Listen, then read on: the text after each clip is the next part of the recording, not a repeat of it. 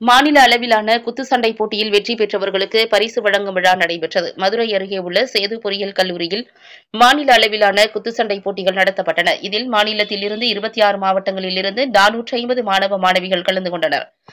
Sub junior junior youth மற்றும் senior பிரிவில் போட்டிகள் நடத்தப்பட்டன. சேது பொறியியல் கல்லூரியும் விருதுநகர் மாவட்ட அமைச்சர் மற்றும் புரொபஷனல் குத்துச்சண்டை சங்கம் சார்பாக இந்த போட்டிகள் நடத்தப்பட்டன.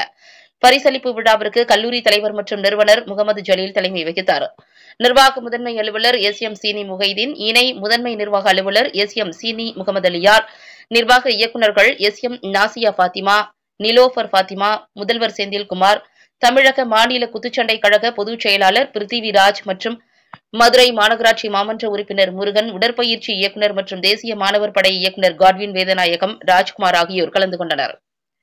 சப் ஜூனியர் பிரிவில் சென்னை விஎஸ்பிசி அமைப்பு அணி சாம்பியனையும் ஜூனியர் பிரிவில் திருநெல்வேலி அசோசியேஷன் அமைப்பும் யூத் பிரிவில் விருதுநகர் அமைப்பு சீனியர் பிரிவில் சென்னை விஎஸ்பிசி அமைப்பு பிரிவும் சாம்பியன் பட்டத்தை பெற்றனர்.